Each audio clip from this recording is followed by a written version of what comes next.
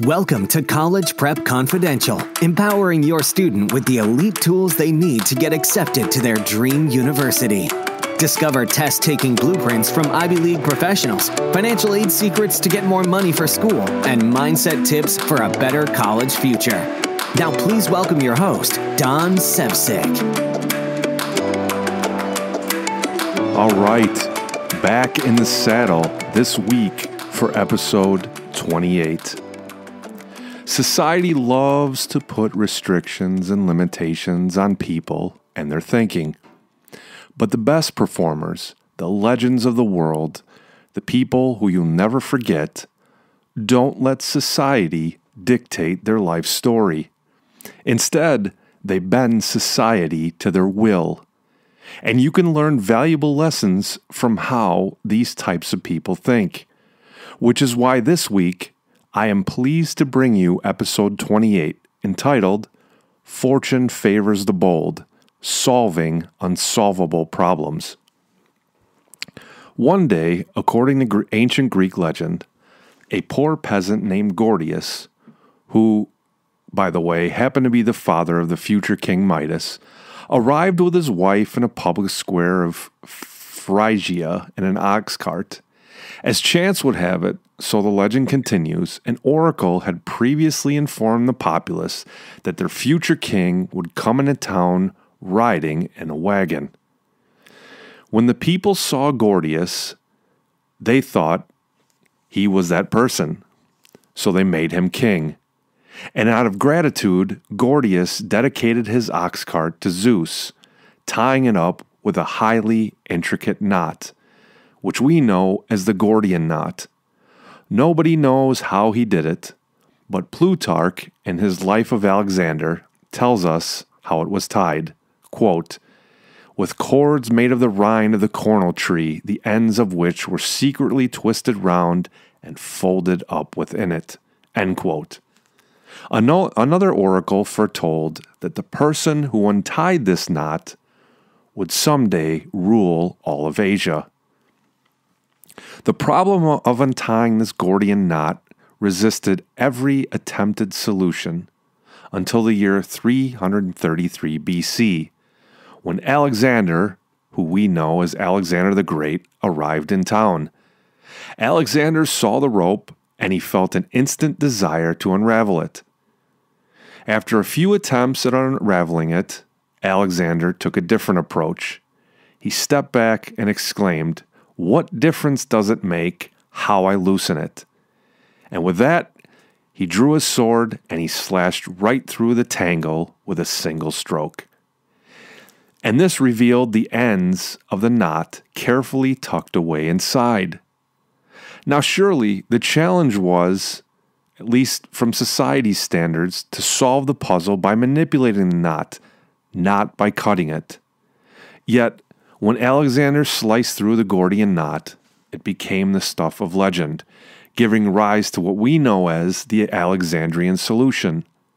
Ever since then, when a person has settled a difficulty by bold or violent means instead of patiently solving it, the custom has been to say that they have cut the Gordian knot in memory of Alexander's feat. Now, as we all know, Alexander went on to conquer Asia, fulfilling the prophecy. Sometimes, and this is the lesson to be learned, it's better to just cut the rope and inside that metaphor lies the key to your college journey. You see, along the way in life, whether it's college, school, jobs, relationships, you're going to have a lot of people give you advice friends, family, colleagues, strangers on what to do, how they do it, and why you should listen to them. Here's what you need to understand Many of these people giving advice either give you bad advice or they shouldn't be giving advice at all. You see, if we look at Alexander's situation, had he listened to society, he would have sat there for years trying to unravel the rope with his bare hands. And it comes to the lesson of today's episode don't let society dictate your rules to you. Instead, bend reality to your will. Impose your will on the world. You see, society may have said Alexander cheated because he pulled out his sword and sliced the knot. Ah, but when the knot was sliced, we saw the Gordian knot has no beginning and no end. The ends were tucked up inside the string.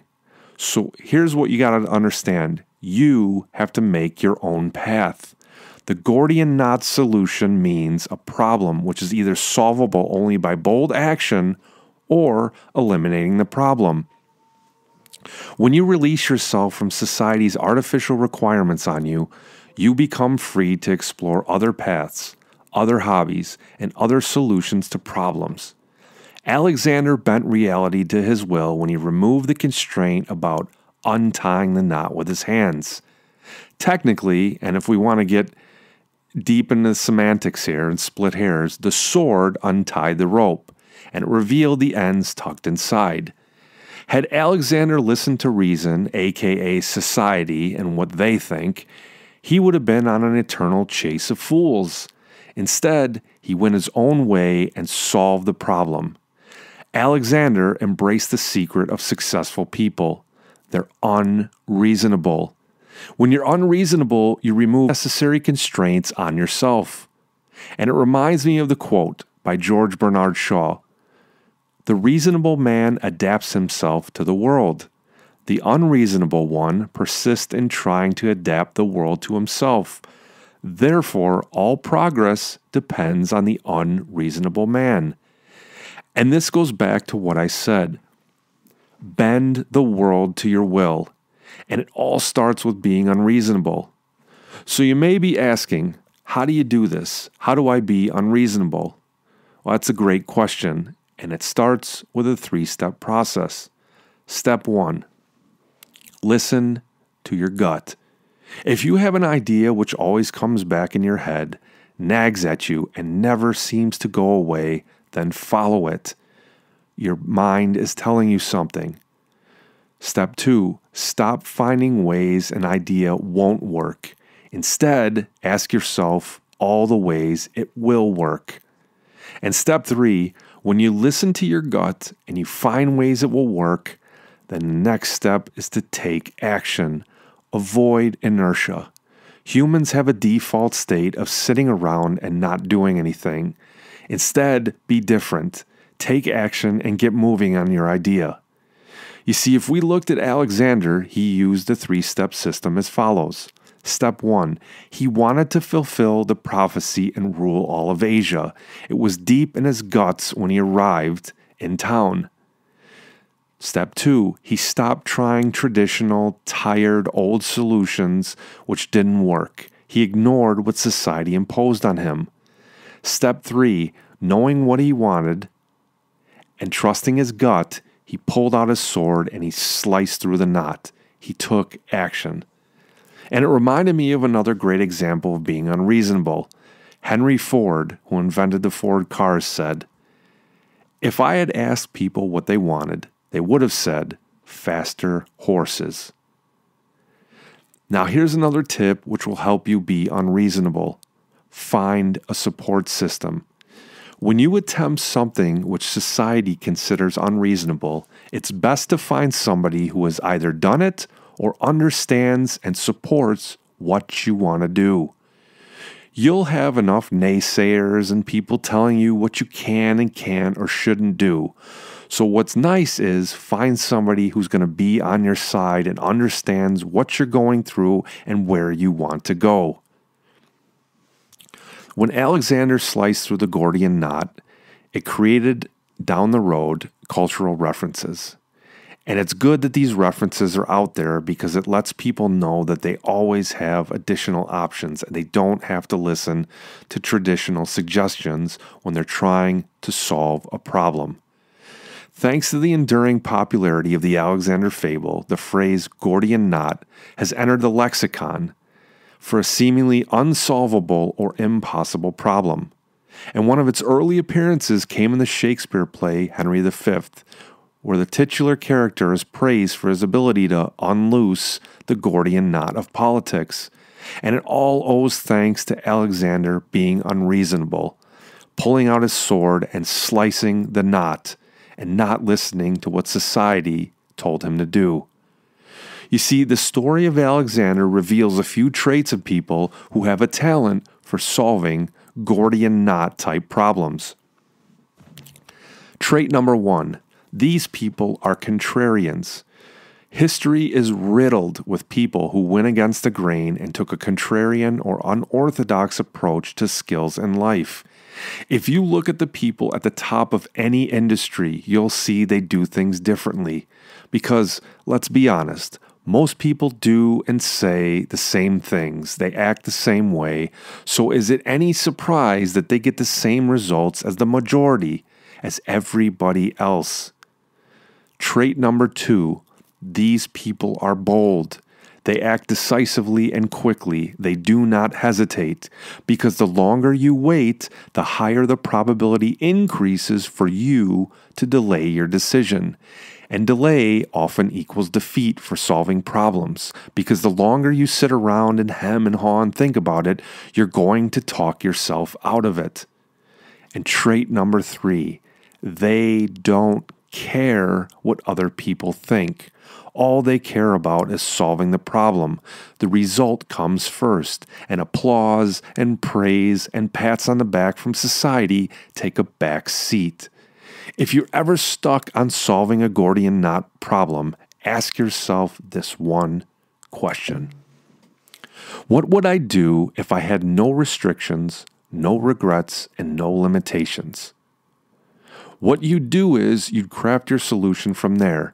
And you may start off with something completely crazy, but then you walk backwards from outlandish into the realm of possibility.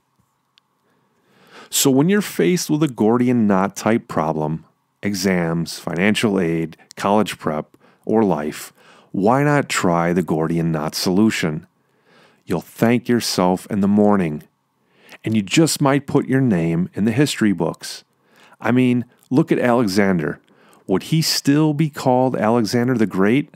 Would he still have books written after him? Would we still be talking about him thousands of years later had he not pulled his sword out and slashed through the Gordian knot? Think about it.